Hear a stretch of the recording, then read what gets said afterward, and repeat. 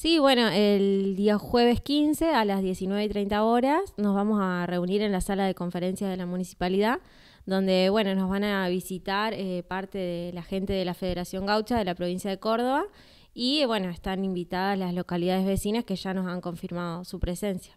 Hay que confirmar presencia para el día jueves, según vi. Sí, para tener una idea de bueno la cantidad de gente que va a venir y bueno y eh, que cada de esos lugares que nos van confirmando ya sabemos que ahí han hecho invitación entre ellos, así que es un poco más más fácil.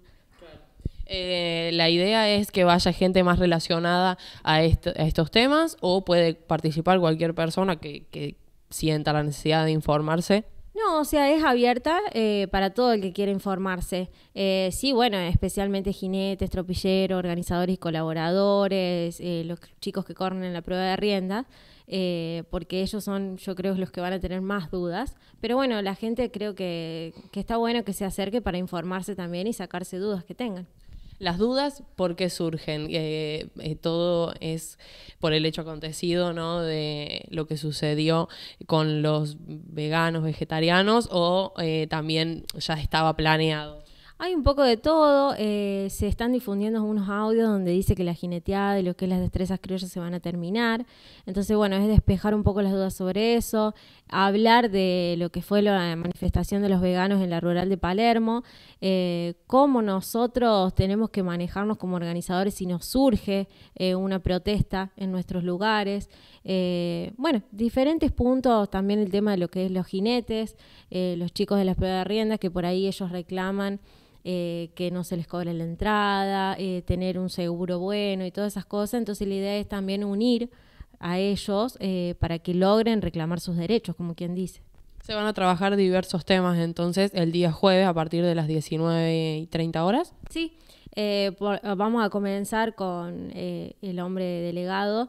nos va a dar una charla, bueno, contando las novedades, tratando punto por punto y después, bueno, abrir el debate para que todos puedan expresarse.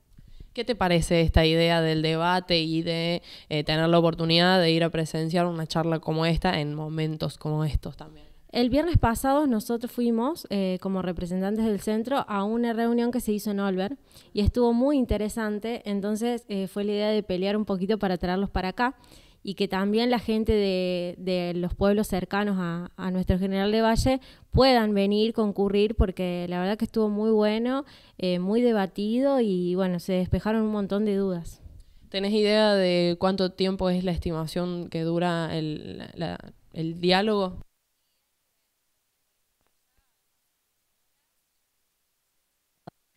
Así, sí, sí, porque estuvo la verdad que muy debatido, muy la gente se expresaba libremente, digamos, y alguno decía, yo tengo una pregunta tonta y de esa pregunta terminamos en algo muchísimo más grande y no era tonta, como quien dice. Seguro.